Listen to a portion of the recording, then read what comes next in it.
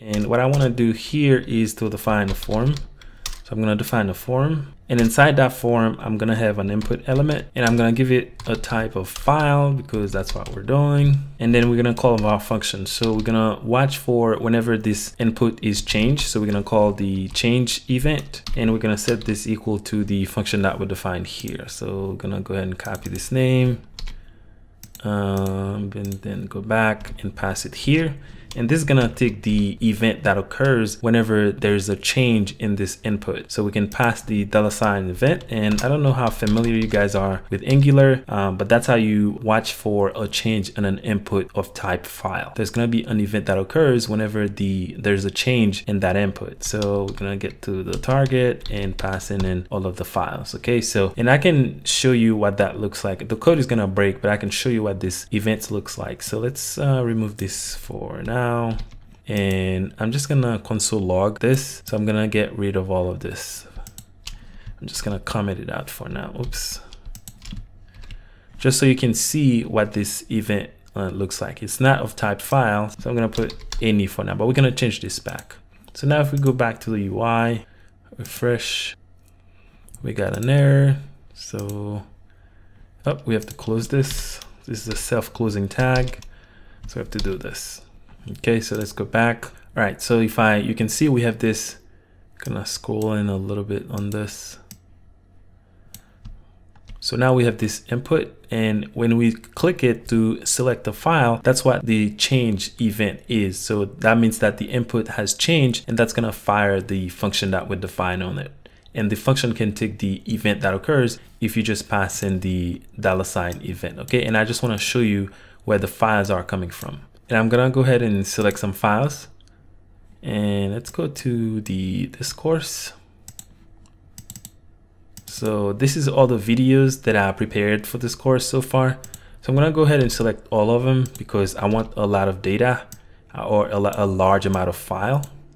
And well, I can't select all of them. So let's go ahead and change this. Let's add the multiple flag here so that we can select multiple files whenever the window opens this flag will allow us to select multiple files. So let's go back and let's go here and it's just gonna select all those videos for this course and select them all, open, and you can see the event. Okay, so this logging is coming from line 82. So if we go back, you can see on line 82, this is where the logging is coming from. That's the event that occurs. Okay, so if we expand this and we go into the target, that's where the input is. And we go into files right here. You can see this is all the files that I just selected. Okay, so those are all the files that we need to send to the backend. Okay, and we can expand to see more information, the name of the file, you know, the size of the file, the type, etc. So we need to take all those files and send them back to the backend inside of a form data. So let's go back and put all this code back. I'm gonna change this. Okay, so put this back. Okay, so we're gonna get files here and also put this back. Okay, so oops. So target files and self-closing tag will take multiple just like that. Okay, so what's gonna happen is whenever we change this input, which means whenever we click it and select the file, this change is gonna fire and it's gonna call this function and I just showed you instead of the event target and then we have a, an array of files. So we pass in those files to this upload file function, which is gonna be fired here. Okay, so that's gonna call the backend and it's gonna start uploading and we'll be able to watch all the event type and then we're gonna log each one of them. So let's go back and we don't have to call this method up here because we have a a call to action on this form. So we can just change the file type or select the file and then it will just fire this function.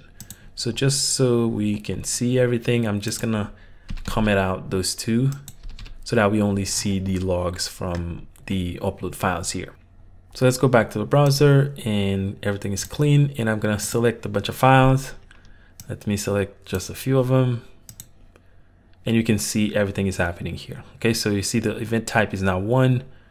Uh, let's see if we can log the event type again.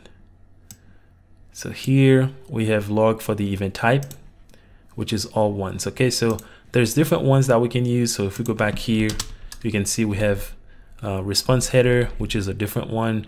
We have sent, which is a different one. We're gonna watch for all of those, okay? But for now, we're only interested in the progress and whenever we get the response right here, okay? So that's why we only have all of the HTTP uh, progress events. So you can see how it's showing us what's being loaded and what's uh, what the total is.